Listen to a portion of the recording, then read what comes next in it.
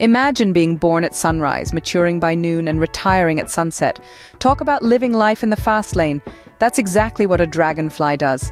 These fascinating creatures with their iridescent wings and swift flight have one of the shortest lifespans in the insect world, a mere 24 hours.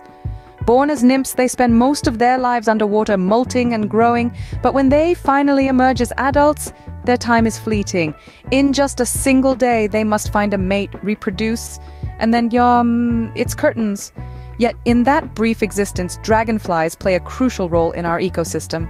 They control mosquito populations, serve as food for birds, and even help pollinate plants. So next time you spot a dragonfly, give it a nod of respect. It's living a lifetime in a day.